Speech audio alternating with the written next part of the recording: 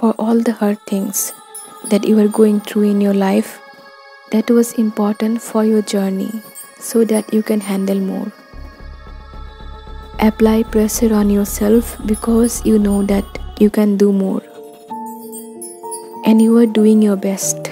You are going to get through it. This is a learning and a growing phase, and you are doing so well. God is so proud of you. The whole universe is with you, supporting you in your journey. Trust the signs you are getting.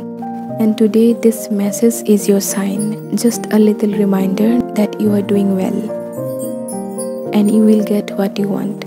For you, it always works out in the end. You are highly favored, super lucky, and greatly blessed. You are loved beyond measure.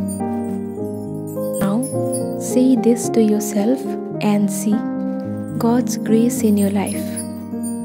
I am highly favored. I am greatly blessed. I am loved beyond measure. My success is necessary. I am an instrument of God. God uses my pocket to help others. I am enough and I have enough.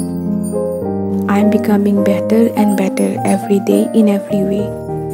Life is getting better all the time.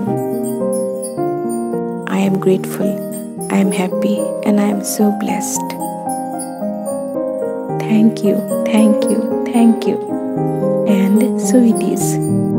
Thank you so much for being here today. Have a great day.